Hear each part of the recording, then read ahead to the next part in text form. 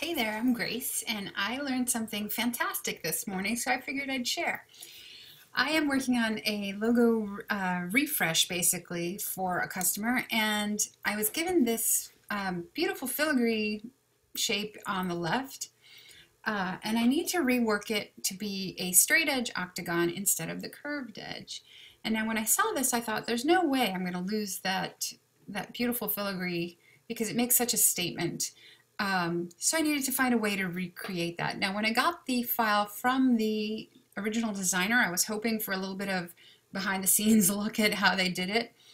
But unfortunately, it's already a compound path, so there was no kind of giveaways there. So let's start with uh, approaching it as a repeating pattern on a brush.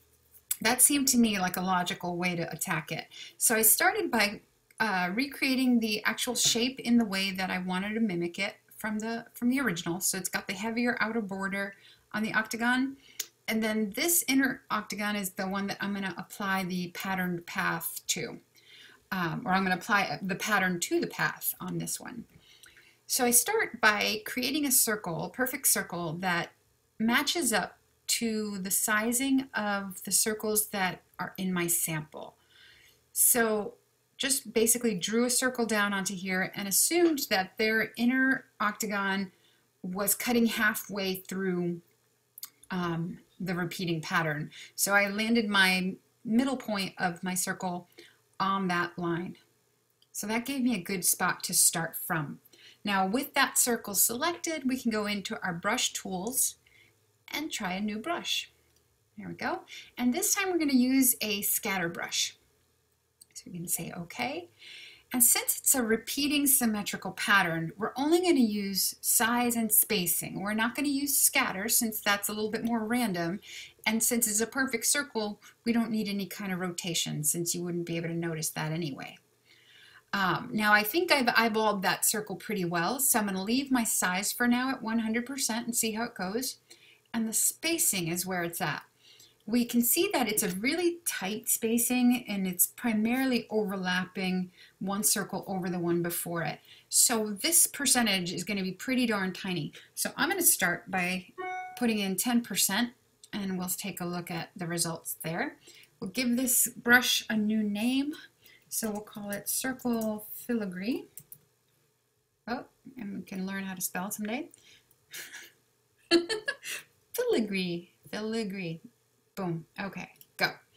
All right, and so you can see it already in our tool brush here, our, our brushes toolbox. I can't speak today, sorry. And here on the right, where we're going to be working, I'm going to go ahead and select the inner octagon that I need to apply it to.